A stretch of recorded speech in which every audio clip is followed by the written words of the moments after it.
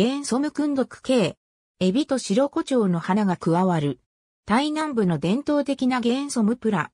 原ソム、または、ケーンソムは、太王国中部の魚の原である。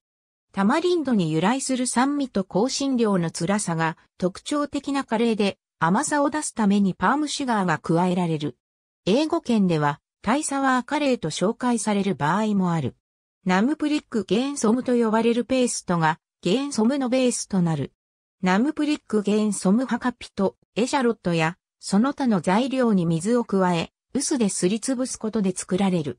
唐辛子が一緒にすりつぶされるが、乾燥唐辛子が良いか、生唐辛子が良いかなどレシピにばらつきがある。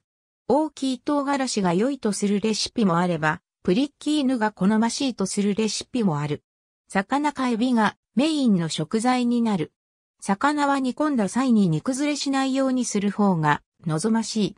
魚はプラーチョンや海岸沿いでは海の魚も使われる。魚卵が用いられる場合もある。ゲンソムは通常米飯と共に提供される。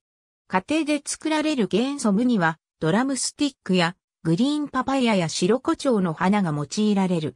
赤い毒系が加わるとゲンソム毒系デーンと呼ばれる。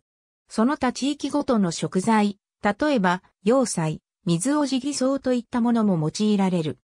ゲンソムの人気が高まると、カリフラワー、大根、キャベツ、白菜、チンゲン菜、人参、十六捧げ、アスパラガスなどが具材として用いられるようになった。さらには、茶オムオムレツまで具材に使われるようになり、エビと茶オムオムレツのゲンソムは、ゲンソムの一般的なバリエーションとなった。